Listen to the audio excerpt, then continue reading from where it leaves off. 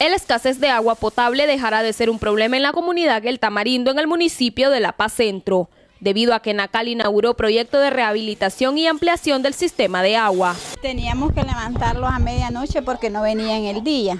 De las 11 hasta las 4 de la mañana había agua, después ya no había. Pero ahora ya está normal el agua. Y el agua que salía era salada, no se podía tomar solo para hacer oficio.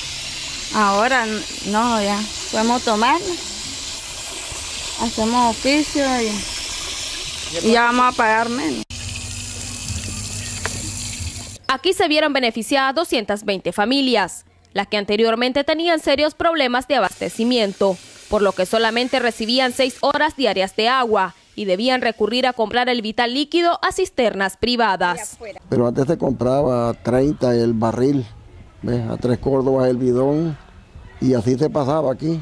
Por mucho tiempo tiene que estar pasando esto. Pero ahora... Oh, y no porque ahora hay una agua buena que es la que se toma y esa va a quedar para siempre. Y ahora, gracias a Dios, ya tenemos el agua en las casas. Un gran beneficio para, para toda la comunidad. Tuvimos muchos años deseando esta agua, peleando ahí para que la pudieran poner.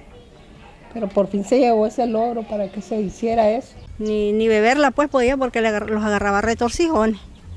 Sí. ¿Pero ahora? No, ahora sí está bien el agua. Está buenísima, buenísima. Sí.